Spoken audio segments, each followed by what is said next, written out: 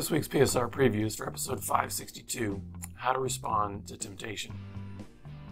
Living a life of sexual integrity is a battle. Temptation is a reality of life, it isn't something any of us can escape. But how can we face this battle in a way that results in victory? If you feel like you're losing more than winning in this battle with temptation, we have an encouraging message for you in this podcast. My co host Steven Cervantes will share lots of practical tips for how to respond to temptation in healthy ways.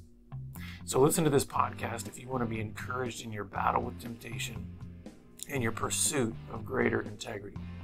For more podcasts and personal help, visit us online at puresexradio.com and follow us on Twitter at puresexradio.